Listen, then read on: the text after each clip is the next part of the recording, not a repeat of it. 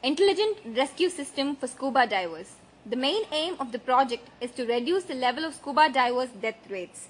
The body parameters are monitored in such a way that helps in saving a diver's life. Advancement in communication system is well developed. Objectives to avoid the level of accidents and death rates of scuba divers. The parameters like heartbeat, respiration system, temperature of the human body underwater are monitored by this rescue system.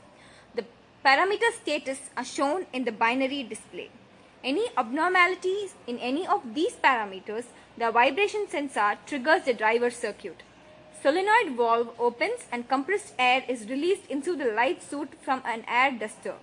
Radio frequency communication system is designed in the system so that the receiver alarms for rescue. Scuba diving is a mode of underwater diving in which a scuba diver uses a self-contained breathing apparatus to breathe underwater. Sport diving is another un- underwater sport that uses recreational open circuit which consists of a set of individuals and team events conducted in a swimming pool that tests the competitioner's competency in recreational scuba diving technique. Most divers use scuba tanks filled with simple compressed air. This is safe and standard with recreational diving limits. Deep sea diving is an activity in which a person can descend beyond the recreational scuba diving limit of 40 feet, which is 130 feet.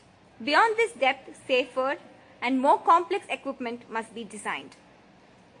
Annual Death Report. Here is the death rate in scuba diving from the year 1980 to 2004. Need for the new system. In order to clarify the design requirements for the diver safety, a literature survey was conducted to identify the standards and regulations. The project will not only enable underwater physiological data collection and estimate the cognitive stated, but also is aimed to be an important tool of safety. At this stage, another challenging task is ensuring that the intelligent rescue system must safely move around the diver in any mechanical, acoustical, electrical, or electromagnetic hazard to be avoided. The parameters like heart sensor, respiratory, and temperature sensors are used to monitor the diver's status and is shown in the binary display. Radio frequency is a communication system between the scuba divers and the person who stands near the seashore. So the person can save the scuba divers once the signal is being delivered from the diver's rescue area. Thus, the process is needed and adopted to prevent the diver related to the diving activity and the divers. Methodology Step 1 Switch on the power supply. Step 2 Microcontroller used is PIC16F72 which monitors the three body parameters like the body temperature, respiration rate, heart rate. Any malfunctioning in these parameters, the microcontroller triggers the solenoid driver and compressed air is let out through the solenoid valve. The compressed air fills the airbag and the life suit inflates for rescue. Working.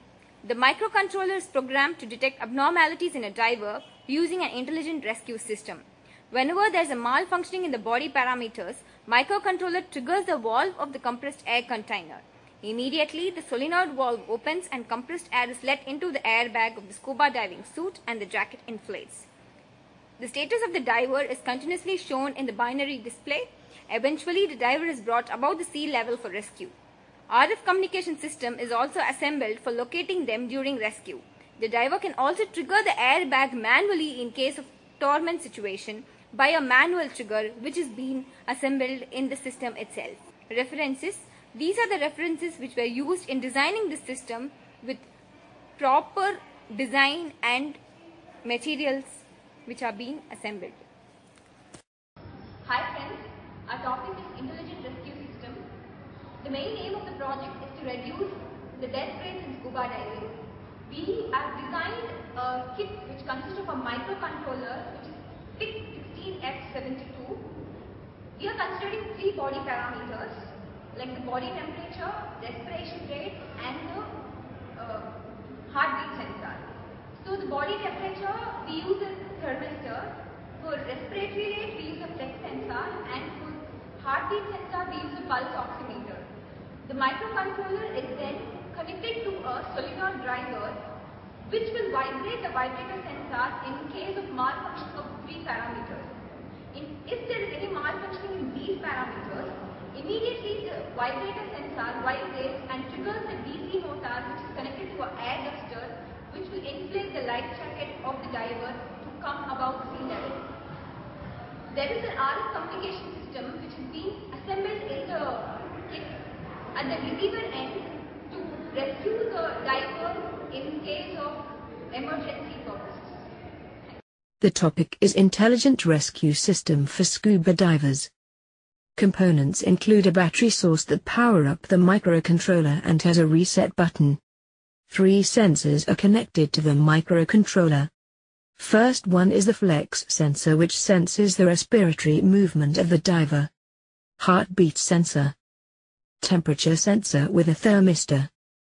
A manual switch which is also connected to the microcontroller. Solenoid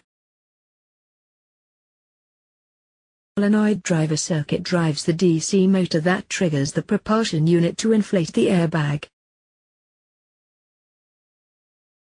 Vibration sensor plays a key role in the entire procedure.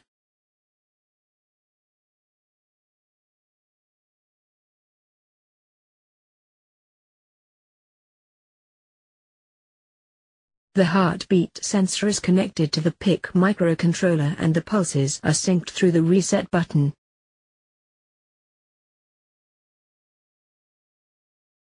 The flex sensor monitors the respiratory motion of the diver. The inhalation and exhalation is determined through minor changes in the flex sensor fitted on the belt. It is indicated by an LED. Irregularities in any of the parameters will trigger the solenoid driver circuit via the vibrator sensor which fires up a propulsion unit. Thank you.